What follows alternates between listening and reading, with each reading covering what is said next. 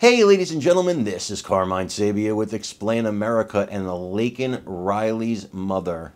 She's responded to President Joe Biden saying her daughter's name and saying it incorrectly at the State of the Union. Before we get started, please make sure you like, comment, share, and subscribe. Those little things really help us out and they help our channel continue to grow. Laken Riley's demise at the hands of an illegal immigrant is a horrible, horrible, tragic 2024 story.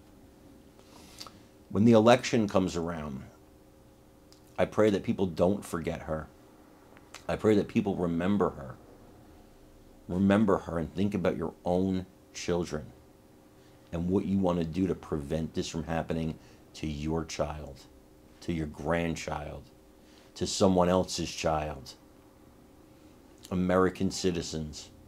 I see it all the time. Saw a video today. Flood victims in San Diego being booted out of a hotel. They're flood victims. They didn't ask to be placed in a hotel.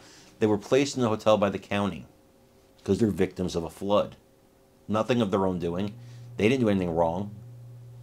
And they're being kicked out of that hotel. So illegal immigrants can come in. They did do something wrong. They broke the law. Flood victims didn't break the law. We are kicking out American citizens who have been through a tragedy to house people who broke our laws. Only in America.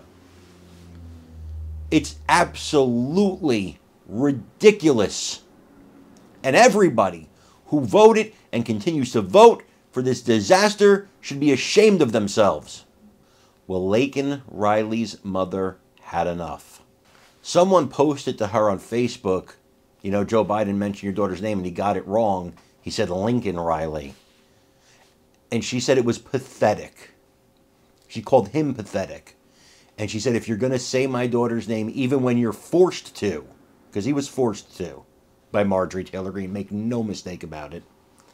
She said, even when you're forced to, get it right. Her name's been all over the news. You decrepit old man. You decrepit, memory lost, uncaring about anything but your own power old man. You couldn't remember her name. Well, I'm going to tell you this, Mr. President. I'm going to remember her name. Millions of Americans are going to remember her name.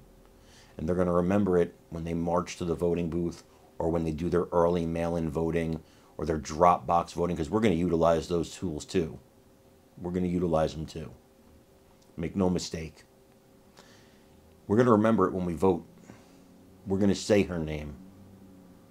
And then we're going to say goodbye to you as president.